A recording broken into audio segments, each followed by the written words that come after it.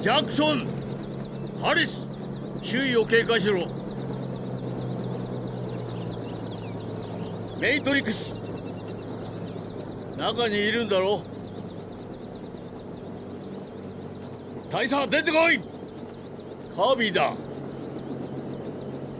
分かってます。静かに素早くか。変わってないな。将軍に教わったことです。私も年だな。何しに来たの？ジェニー元気かね？まあね。ジェニーお父さんと大事な話があるんだ。そう。令状はあるの？きついジョークだ。ジェニー。分かったわ。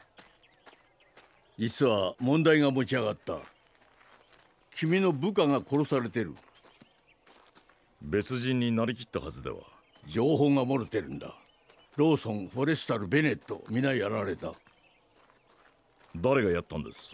君らは世界中に敵を作ってきたからな。犯人は東南アジアか南米かアフリカかそれともテログループか。次は君の番だ。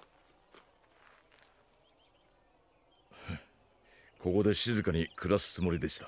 暮らせるさ心配ない。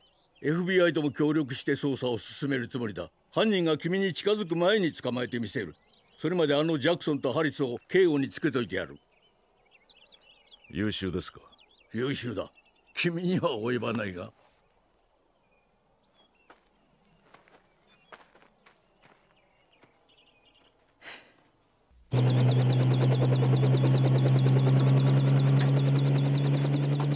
メイトリックスは見つからんか？いえ3人の死体だけです。まだあるのでしょうか？彼が生きていれば死体はまだまだ増えるはず。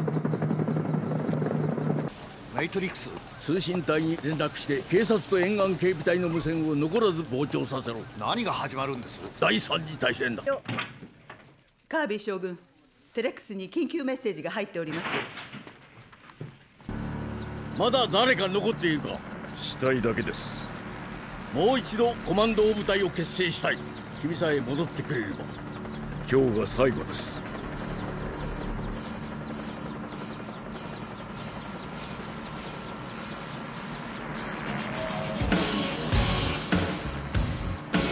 また会おうメイトリックス。会